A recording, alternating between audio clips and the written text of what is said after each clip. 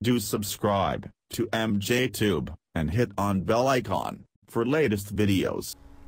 Hello guys, welcome back again. I'm MJ. In this video, we will learn how to disable and enable HP laptop touchpad.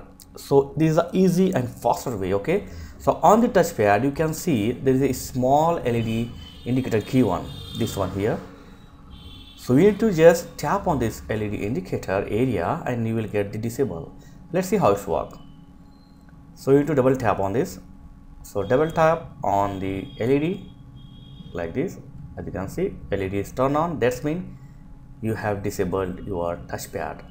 So tap again to enable and now your touchpad is enabled.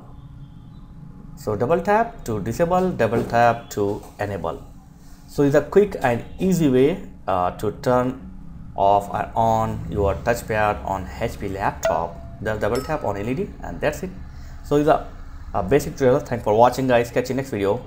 Please like, share and subscribe. Thank you very much.